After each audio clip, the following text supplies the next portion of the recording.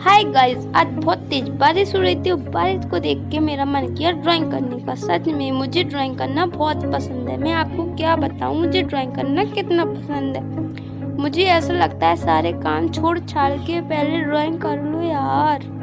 वैसे मैं ये ड्राइंग दस रुपए के कलर से बना रही हूँ। और हाँ गाइस, अगर आप मेरे चैनल पर नए हैं तो प्लीज़ मेरे चैनल को सब्सक्राइब करें और वीडियो को लाइक करें। हमारी ड्राइंग तैयार है।